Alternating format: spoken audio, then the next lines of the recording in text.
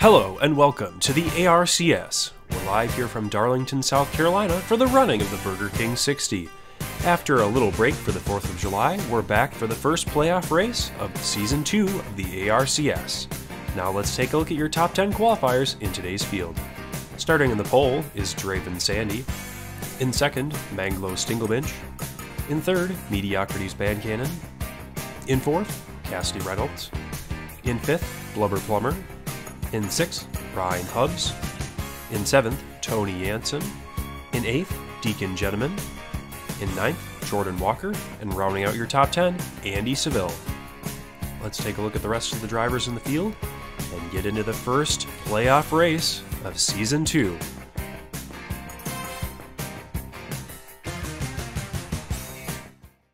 And we're live here at Darlington, South Carolina for the running of the Burger King 60.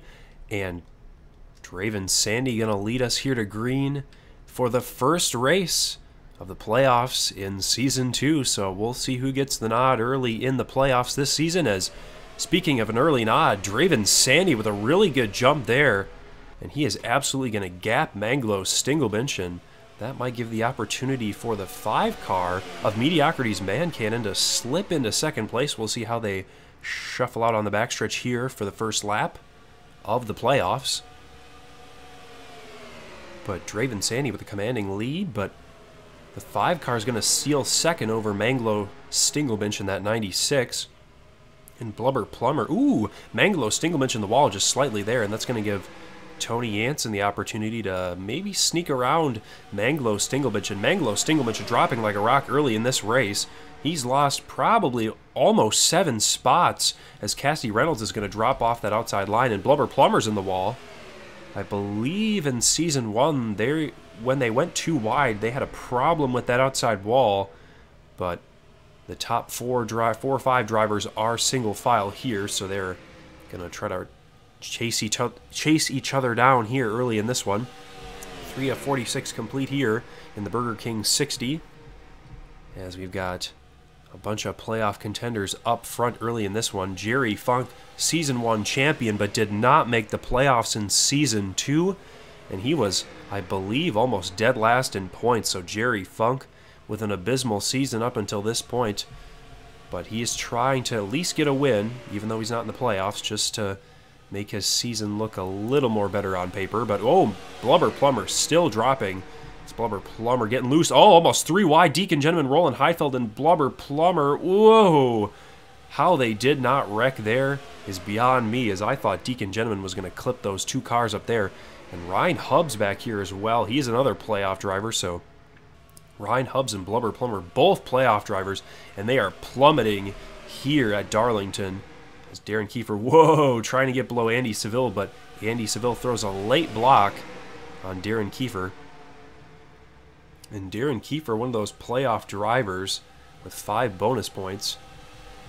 And this is, we'll go through the uh, playoffs, or how the playoffs sit before this race. So Deacon Gentleman with 2,025 points, and he got Ricky Quinn at 2010, Jack Porter at 2010, and then the rest of the playoff contenders here are at 2005. We have Darren Kiefer, Maxwell Smart, Blubber Plumber, Draven Sandy, Mediocrities, Mankin, and Ryan Hubbs, and Theophilus Morgendorfer Jr. And my goodness, Tony Jansen has the lead. We've got to take a break from the playoff picture here as Tony Jansen in that pink number 17 car, the number is pink, obviously the scheme is the same, but how about Tony Jansen with a commanding lead early in this race? If something funky must have happened up inside the top three as Ricky Quinn is getting shuffled to the outside lane. But how about Jerry Funk up here? Jerry Funk looking for a win, as we were talking about earlier. And Draven Sandy as well. Draven Sandy was the leader. But how about Quinn Porter, Jerry Funk up here as well as Tony Jansen? That nice lead. Oh, and Ricky Quinn in the wall there. Ricky Quinn not having a good day as Ricky Quinn loses about four spots on that straightaway and probably another two or three in the corner. Oh my goodness, Mitch Barrier making contact and almost sending that 43 into the barrier here at Darlington. Oh, and Draven Sandy in the wall. The theme of this race has just been drivers in the wall. As Draven Sandy will probably lose that spot to Mitch Barrier. And Quinn Porter is on that outside lane. Oh, and he's scraping the wall. As John Rothstein and the Haas CNC car will get by. And Christian Louisa. How about Christian Louisa? Had a really rough season this far. Oh, whoa. Mitch Barrier's leaning on Quinn Porter there in the corner. Quinn Porter probably not happy with that. Ooh, and Diego Chacon gets by. We'll see how the leader, how the leader's going. And Tony Anson still has the lead here. Coming up on 10 complete here in this race of the Burger King 60. And let's take a look at the fastest lap. And the fastest lap on the day is Deacon Gentleman with a 27 flat, roughly. So good job for Deacon Gentleman. And he has the Burger King fastest lap of the day thus far here in the first race of the playoffs. Ooh, Cassidy, Reynolds, and three drivers in the wall back there. They just cannot manage their setups quite right. And I think these cars, trying to get a little speed out of these cars, they are just a little loose. Just a little loose here at Darlington, but three cars under a blanket for the lead here. We got Tony Anson, Jerry Funk, and Jordan Walker up here. Jordan Walker has had a really rough season. Oh, and Tony Anson in the wall. The leader is in the wall. Jerry Funk's going to get the lead, but Jordan Walker maybe make a move for the lead here, coming to lap 12. As Tony Anson using a little bit of side draft on Jordan Walker, and that's going to pull Jordan Walker back, but Tony Anson going to fall back here as he gets passed by Manglo Stinglebench here. But 12 of 46 complete here in this race, and Christian Louisa with a Darlington stripe on the right-hand side of that car. But Jerry Funk with a lead here at Darlington. Good job for Jerry Funk. Oh, we got smoke on track. We might have a caution. Oh, we do not. But there was smoke on track, so something must have went down. But they saved it here at Darlington, so 13 of 46 complete here in this race so far as they go into turn one. Jordan Walker maybe going to make a move on Jerry Funk. Might send him up the hill just a little bit. Going to pen him too wide in the corner here. Oh, Jerry Funk kisses the wall slightly.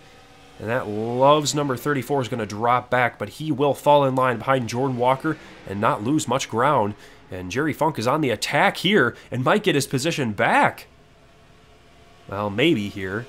But 14 of 46 complete here in the Burger King 60, and Manglo Stinglebench has joined the battle for the lead up here in the top three. Darlington, such a ever-changing track here. You never know who will have the lead at any given moment here at this race course because it is just unpredictable. As Manglo Stinglebench going to look to the inside of Jerry Funk. Hopefully Jerry Funk will have space. He will, but he, oh, barely touches the wall there just a little bit. But Jerry Funk getting lucky here at Darlington. He kissed the wall the, the prior lap, and he barely touched it this lap, so he does not have much damage. But he's going to force Manglo Stinglebench to the outside wall. Oh, and Manglo Stinglebench hits it hard, but Mitch Barrier and Tony Anson will slide on through here at Darlington. But Jordan Walker still with a lead here at Darlington. Roughly 30 laps to go as they cross the stripe here in the Burger King 60 for the first race in the playoffs here. And it's been pretty exciting and action-packed thus far. As Jordan Walker, not a playoff driver, along with that 34 of Jerry Funk, not a playoff driver as well, but Tony Anson of the playoff drivers is the highest running. And just as I say that, Mitch Barrier will likely mm, possibly put the bumper to Tony Anson to be the highest running playoff driver. We got three playoff drivers in a row Tony Anson, Mitch Barrier, and Manglo Stinglebench. So all having good days, but Tony Anson might not have a good day here as he might end up in the wall. We'll see coming off two here. Oh, Tony Anson hits it pretty hard, but he'll keep rolling. Manglo Stinglebench going to try to take advantage, and he will. Oh, puts the 17 car in a precarious position here, going off four, but Tony Anson will whack that wall again, and where is the rest of the field? The top four cars are up here. Oh, hey, we've got two Monster Energy cars, fifth and sixth. How about that? Christian Louisa in that 41 car for Stewart-Haas Racing, and then you got the KBM car of Michael Redinger, so two Monster Energy cars Fifth and sixth, so that's pretty impressive. But Jerry Funk up here stalking the 10 car of Jordan Walker. Jordan Walker and Jerry Funk have gone back and forth up at the front here for the majority of this race, but Mitch Barrier stalking those two drivers in that Fox car. 91 for Mitch Barrier. Ooh, and Jerry Funk's going to make a move on Jordan Walker here. Coming out of turn two onto the backstretch. And who will get the nod? And I believe Jerry Funk will, but Jordan Walker did not hit that wall too hard. And I believe will block Mitch Barrier coming into three here. And he'll park the bus right in front of Mitch Barrier. And Jordan Walker does not lose the position to Mitch Barrier, but I believe Mitch Barrier will get a little bit of draft off Jordan Walker and potentially dive to the inside, go in and turn one here, and he will take the advantage over Jordan Walker, but will there be major contact with... Oh, and Jordan Walker's in the wall pretty hard. And that's going to drop him back to third. Manglo Stinglebinch in fourth. Who's in fifth here? Let's say... Ooh! Tony Jansen back there as well, still trying to regain some ground, but he's got a big Darlington stripe, as do a lot of drivers here in today's race. And Michael Renninger is up inside, I believe, six now, and has passed that 41 of Christian Louisa. Michael Renninger and Christian Louisa both have had pretty rough seasons thus far, but trying again, like I've been saying about other drivers this season, just trying to make do with what they have in the last five races of this season. But Patrick Turner, we have not talked about Patrick Turner all day. That Hendrick Motorsports driver has crept up through the field quite nicely here at Darlington. But Darren Kiefer in that lone Audi in the field trying to make a run toward the front late in this race. But ooh, Mitch Barrier and Jerry Funk up at the front of this field. 22 of 46 complete here in the Burger King 60. And as they head into 3 and 4 here, Mitch Barrier going to dive to the bottom of Jerry Funk. Mitch Barrier, a playoff driver here. He's got two playoff drivers. Oh, and Jerry Funk's going to fight back and lead the lap. Jerry Funk is not done fighting, but oh, Jerry Funk gives... Oh, Jerry Funk gives up, but he did not hit the wall. He just hit another driver. Smart move by Jerry Funk, a veteran move, to not hit that outside retaining wall and just let the driver go by of Mitch Barrier and Jordan Walker. But Jordan Walker, how about Jordan Walker? Jordan Walker's had a, like I said, rough season, but didn't make the playoffs and just trying to get a first career victory for Jordan Walker. I believe, I believe Trevor Trevor Walker, the other Walker, has a win here in the ARCS, and Patrick Turner going to put the bumper to Darren Kiefer. And will Darren Kiefer whack that outside wall? Let's take a look. Oh, and Darren Kiefer lets off the throttle just enough to avoid that outside wall, and we'll see if Patrick Turner will get around Darren Kiefer. Oh, and we got a caution, folks. We have a caution. 25. Oh, and Maxwell Smart. Maxwell Smart is out. A playoff driver. Playoff implications here, and we'll see if any other drivers are involved. And we see, oh, Mike Copus, heavy damage there. And I believe Tyler Seville as well with damage. So we'll get a replay of the accident here at uh, Darlington shortly here. And we're back here at Darlington. Let's take a look at the replay. Maxwell Smart and Dave Wilson get into it as Dave Wilson trying to avoid Maxwell Smart. Oh, and Mike Copus just barely nicks him. Quinn Porter goes around. Tyler Seville involved, and ooh, Ryan Hubbs. Oh, and Tyler Seville. Ryan Hubbs, a playoff driver, a winner at Road America, but multiple playoff drivers involved here. Hopefully, all the playoff drivers will continue with some sporting damage that may be on borderline of being major, but we'll see how it shakes out here as they go back to green in just a couple laps. And we're back here in the Burger King 60. Richard Petty going to dive off in that white Pontiac pace car. And Mitch Barrier in that Fox car is going to lead us back to green. We have two drivers out of this event. In 39th, Dave Wilson, and in 40th, Mike Copus. Both non-playoff drivers, so all the playoff drivers, as I mentioned before, are still in this one. And Mitch Barrier gets a good start, but Jordan Walker still kind of hanging with him as they boogie on into turn one here at Darlington. Sizable lead for Mitch Barrier now. He's got the car and all his RPMs up to spec here. And Jerry Funk with a good start as well. He's going to be right on the back bumper of Jordan Walker and going to pass Jordan Walker on the backstretch. But that would be a really good story for Jerry Funk. If Jerry Funk could just find victory lane here in Season 2, he's had a rough, or he had a really impressive Season 1 being our inaugural season champion. But Patrick Turner, Michael Renninger, all trying to slide around. Oh, Jordan Walker. Jordan Walker, poor Jordan Walker. He's going to get freight train. Hopefully going to drop in line here in front of Tony Jansen. Will he? Oh, he's not going to. And Tony Jansen's going to say, see ya, Jordan, because you're going to be dropping at least four more spots here if this keeps up. But how about Michael Renninger passing Manglo Stinglebinch? Michael Renninger, that car looks pretty clean. There are no expired decals on the side of that car. They are all nice and clean here, but oh, might be. Oh, and I jinx it here at Darlington, and Michael Redinger's in the wall. And like expired cake, he was going out to pasture here at Darlington. He's getting thrown out as he's passed by multiple drivers. Oh, and he's hit the wall again.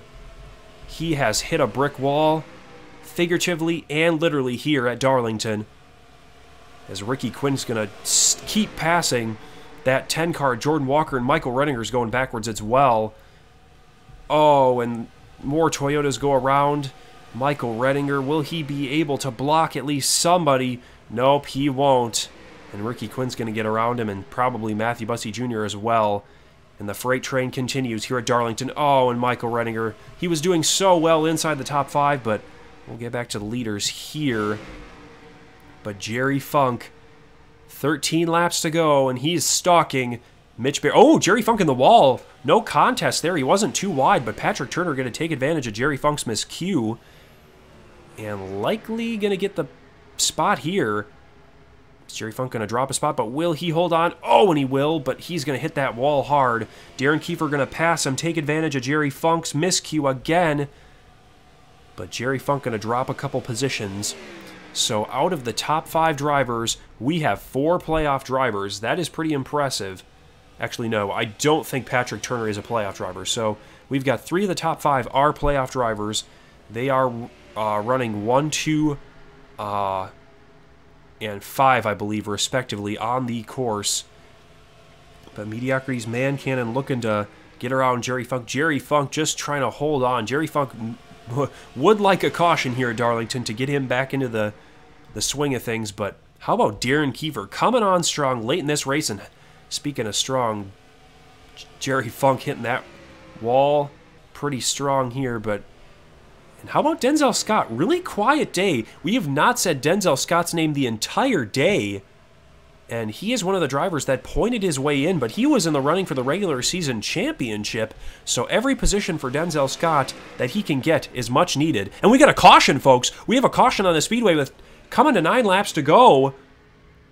And it might have been Quinn Porter, but we'll have... Oh, Ellie Buss. Oh, and Maxwell Smart as well. Michael Redinger, we'll have to get a replay, but a lot of other drivers trying their very best. But I believe Theophilus Jr. with damage, and he's a playoff driver as well, so we'll definitely have to get a replay in just a moment here at Darlington. Let's take a look at the replay, folks. Ellie Buss making contact with the wall, trying to save it. Blubber Plumber, playoff driver. Oh, heavy hits here, and upside down is the 22 at Darlington. John Rothstein involved. Maxwell Smart, Draven, Sandy, Ryan Hubbs, Theophilus Jr., all playoff drivers with massive playoff implications. And there might be some drivers out here in this one. So we'll have to wait and see when we come back with continuing coverage here at Darlington.